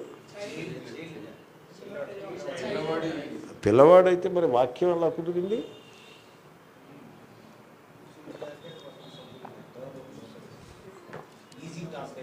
ఆహా అభ్యాసము కూసు విద్య. అంటే పిల్లలకి పిల్ల ఏదో తేలికనో ఏదో అర్థం ఉండాలి. చైల్డ్ మంచిది. సో ఆ విధంగా మీరు అభ్యాసం చేయాల్సి ఉంటుంది. అభ్యాసం చేస్తే మనస్సు సెటిల్మెంట్కి వచ్చేస్తుందండో అది సెటిల్ అయిపోతుంది. ఏమండి? ఆ విధంగా ఎందుకంటే మీ తరఫు నుంచి తప్పు పట్టడం జడ్జి చేయటం దాన్ని దోషంగా ఆరోపించటం అవేమీ ఉండవు. మనస్సు సెటిల్ అయిపోతుంది. దానంతట అది సెటిల్ అవుతుంది. మీరు దాన్ని ఫోర్స్ చేసి సెటిల్ చేయటం కాదు. దానంతట అది సెటిల్ అవుతుంది. మీకు రహస్యం చెప్తా. మీరు మనస్సుపై ఒత్తిడి పెట్టి దాన్ని నిశ్చలంగా అట్టే పెడితే అది మెడిటేషన్ కానే కాదు. ఎందుకంటే మనస్సులో మీరు ఏకాగ్రతని ఫోర్స్ చేసి ఎప్పుడైతే పెట్టారో అది మెడిటేషన్ సరైన మెడిటేషన్ కాదు. మనస్సు దానంతటా అది ఏకాగ్రం అవ్వాలి దానంతట అది సెటిల్ అయిపోవాలి. సెటిల్మెంట్కి వచ్చేస్తుంది అది కామ్గా తయారవుతుంది. దానంతట అది అది ఆ విధంగా మీకు అనుభవం కలుగుతుంది. అది రెండు. నేను చెప్తున్నది మీకు అర్థమవుతుంది ఒకటి చెప్పాను ఇప్పుడు రెండు చెప్పాను. ఇప్పుడు మూడు మూడుకు వస్తున్నా. మూడు ఏమిటో తెలుసిన? మీకు ఒక ఆనందము అనుభవానికి వస్తుంది.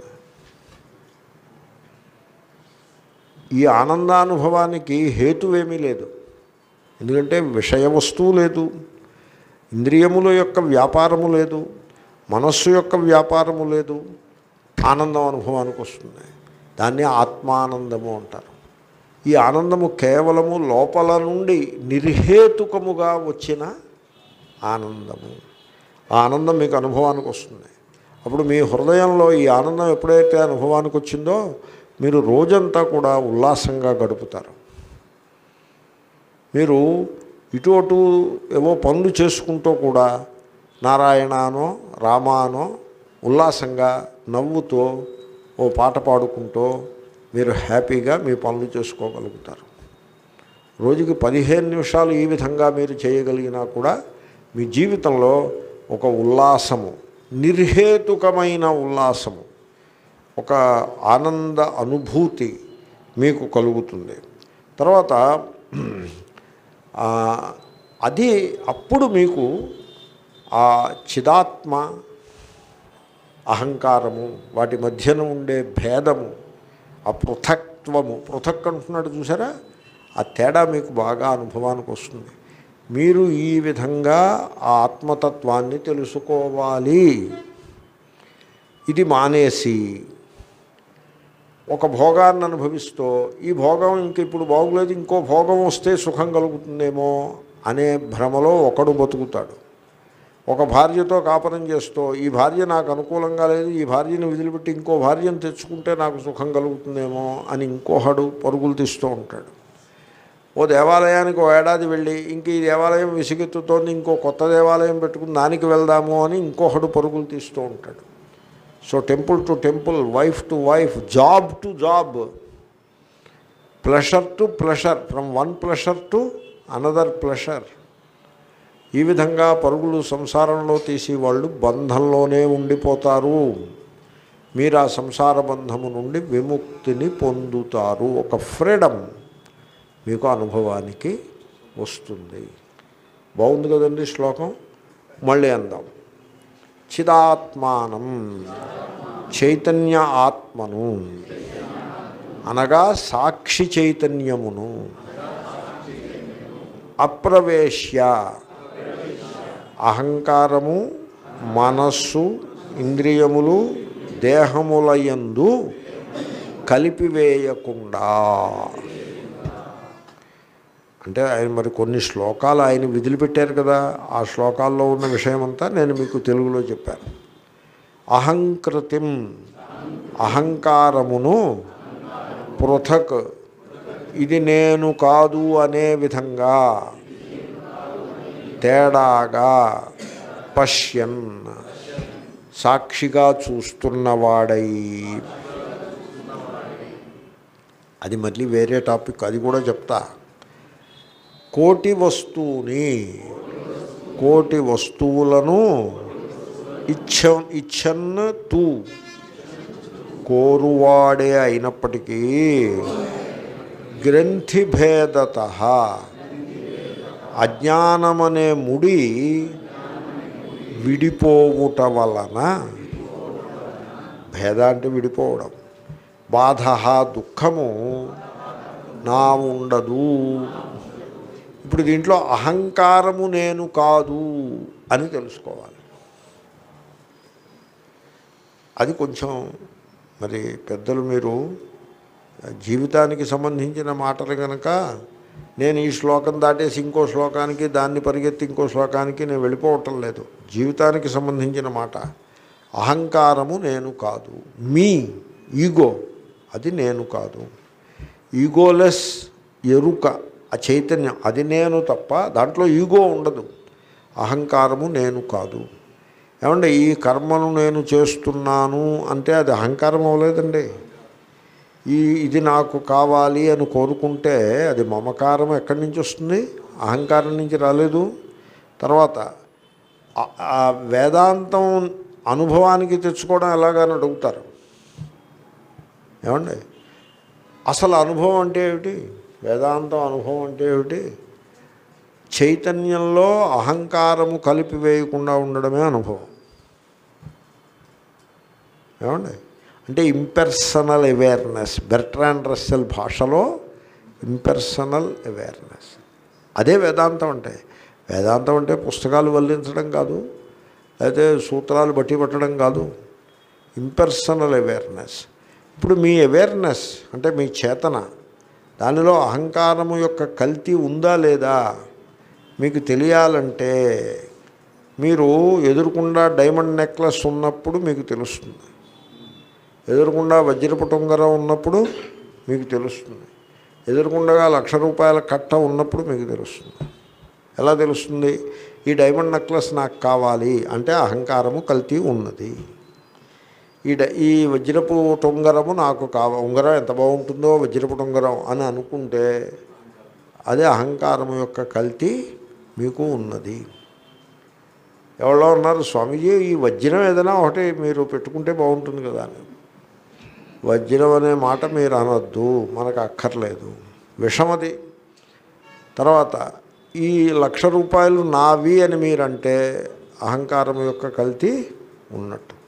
కాబట్టి కోటి వస్తువులు ఎదురుకుండా ఉన్నా ఒకచో వాటిని చేత్తో పట్టుకుని ఉన్నా కూడా అహంకారం అనేది లేకుంటే చేతనలో బాధ ఏమీ లేదు దుఃఖమేమీ లేదు. జేబులో డైమండ్ ఉందండి.